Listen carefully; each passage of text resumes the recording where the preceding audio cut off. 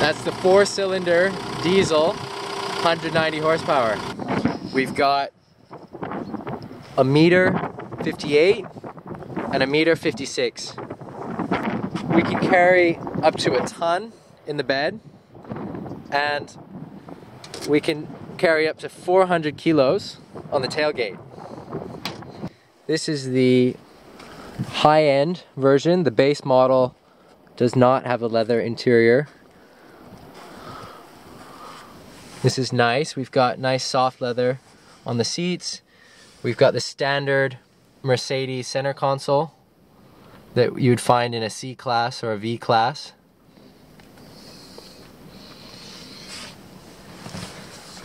Leather on the steering wheel, metal accents.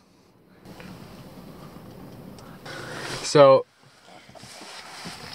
we've got standard button press to start. This is all pretty standard. We're in, I don't know if you can see this, but we're in four high right now. Got two wheel drive down to four low for off-roading. Okay, first test drive. Oh, got the parking brake on. It's mechanical. All right, we started with the parking brake, parking brake on. We got it off. Let's see, we're on some gravel now. How does she drive? Very smooth. It's quite rough here, but smooth. We get on the asphalt.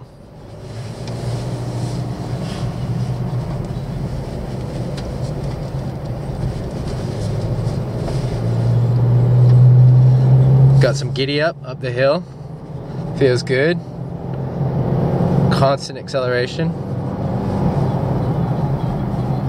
That feels good.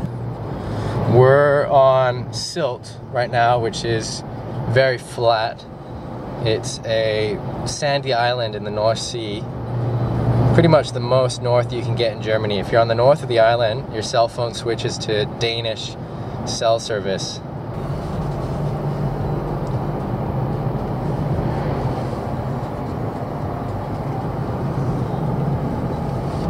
Feels very wide to drive, very comfortable. And the, the center console, you can see that for the navigation is voice controlled, which if my German were better, I would be experimenting with, but it's not. Now, if we wanted to, we could switch to more of a manual um, transmission, but we're gonna stick with automatic, American style testing the sound system here. Turn it up. H1